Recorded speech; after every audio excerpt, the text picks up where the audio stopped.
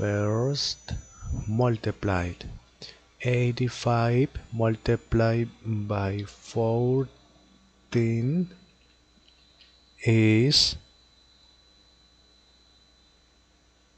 0 0 okay multiplied. Always two digit. 1 2 point. After the point eliminate 0 from the last. After the point okay. Finish